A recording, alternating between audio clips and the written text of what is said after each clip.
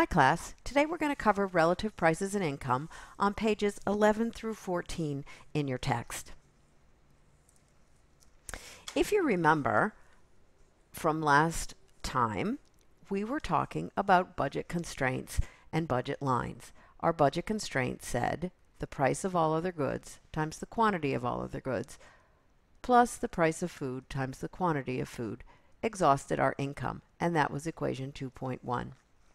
When we rearranged that equation into a budget line, we saw that the quantity of all other goods was equal to income divided by the price of all other goods minus the ratio of the two prices, where the price of the good on the horizontal axis was on the top and the price of the goods on the vertical axis was on the bottom, multiplied by the quantity of food was equal to our budget line.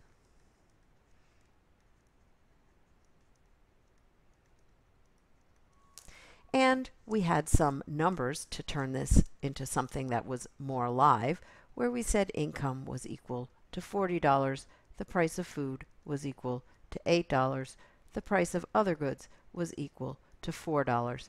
And we could find the y-intercept. We could also find the maximum quantity of food if we purchased only food, and therefore we could draw a budget line and find out the maximum quantity of food and all other goods that the family could purchase if it exhausted its income. Now, what's important today, or right now, is to look at relative prices and what that means. Indeed, this is the slope of the budget line. The other thing that we're going to look at is what happens when income increases or decreases, and you'll see that income does not enter into the equation for slope.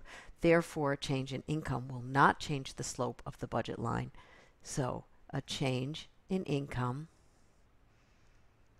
will only change the location of the budget line, and a change in price, either the price of the good on the horizontal or the vertical axis, will change both the slope and the location of the budget line. So let's go back to a graph and we'll see whether or not we can identify what will happen when the price of one of the goods changes. Now note, we have two goods, so the price of food could change or the price of other goods could change. Now in our class, we always put the own good on the horizontal axis, and that's how we're going to end up doing our analyses when we add preferences to this equation and we find out what quantities the household is going to prefer given a set number of prices and income. So again, QO is equal to Y over PO minus PF over PO QF 2.4 and we said y was equal to $40. PF was equal to $8. PO was equal to $4. We could find the y-intercept by saying 40 or income over the price of other goods or 4 was equal to 10. And we could find, if you remember the little trick we did, that if I set the maximum quantity of goods of other goods equal to 0, then I could see, say y over pf was equal to the maximum quantity of food I could buy. And that was 5. And connecting those two lines, and that's supposed to be straight, would give me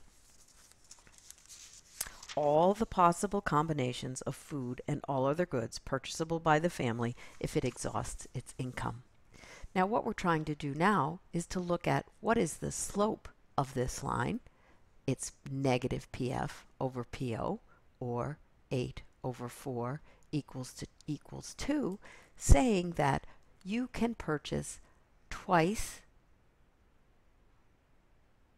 the number of you can purchase twice as much food for every quantity of other goods, or food is twice as expensive as other goods. you would have to give up two units of food in order to get one unit of other goods, or you can give up one unit, two units of other goods to get one unit of food.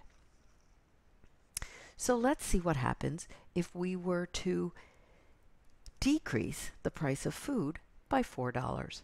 The new price of food, or PF2, is equal to 4. What does that do to our equation? Well, clearly it does not change the y-intercept because the price of other goods has not changed. It is going to change the slope because the price of food is now 4. The new slope would be 4 over 4 or 1, and it's clearly going to change the maximum quantity of food that I could buy if I don't purchase any other goods. Now we're going to have 40 over 4 is equal to 10. If I have the price of food, I can double the amount of food that I buy. The household has increased amount of purchasing power. I have changed the slope. Used to be PF over PO was 8 over 4. The new PF1 over PO is 4 over 4 equals 1. There's now a one-to-one trade-off between food and other goods. I have changed the slope and the location of my budget line. Now what happens if I were going to increase the price of other goods from 4 to 8? If I increase the price of other goods from 4 to 8, I would have 40 divided by 8 is equal to 5. I have just decreased the consumption possibilities of the household by increasing the price of food. It decreases the maximum quantity of other goods I could purchase if I spent all my money on the on other goods and it keeps the maximum quantity of food I could purchase the same. So when I change a price, I rotate around the maximum quantity of the good whose price did not change Notice in this case right here, I did not change the quantity of other goods. I decreased the price of, price of food. I rotate around the maximum quantity of the good whose price hasn't changed. If the price decreases, I rotate the budget line out because I can buy more things. If the price increases, I rotate the budget line in because my consumption possibilities have decreased. So when I change the price of a good, I have changed the slope and the location.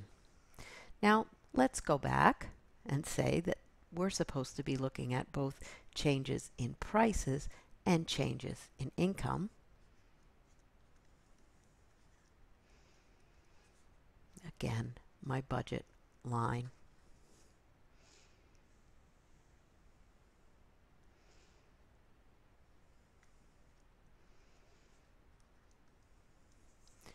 and we had income was equal to $40. The price of food was equal to $8. The price of other goods was equal to $4. And I saw that at those prices, an income, this was the budget line. That is the quantity combinations of food and other goods the household could purchase if it exhausted its income. Now, what happens if the household increases its income to $80? Well, Y over PO changes from 40 over 4 to 10 to 80 over 4 to 20. But notice the slope doesn't change because negative PF over PO is the slope. Only income has changed. So if I look at the maximum quantity of food that I could purchase at now $80.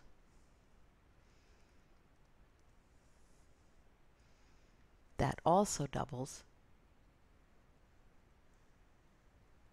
And I get a parallel shift in the budget line out when I increase income and don't change the prices. A change in income leads to a change in the location of the budget line, but not in the slope. For those of you who are interested in mathematical reasons, notice the slope or negative PF over PO does not contain income, therefore it doesn't change.